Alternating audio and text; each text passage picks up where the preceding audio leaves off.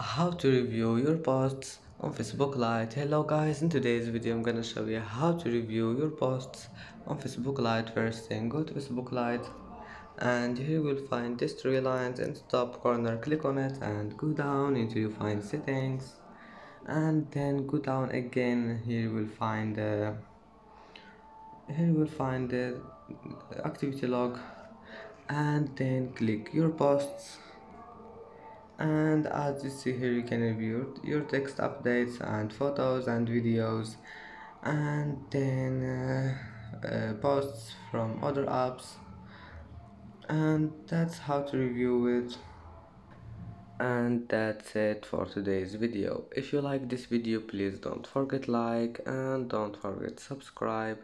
And thank you for watching this video. Until the end and uh, see you in the next video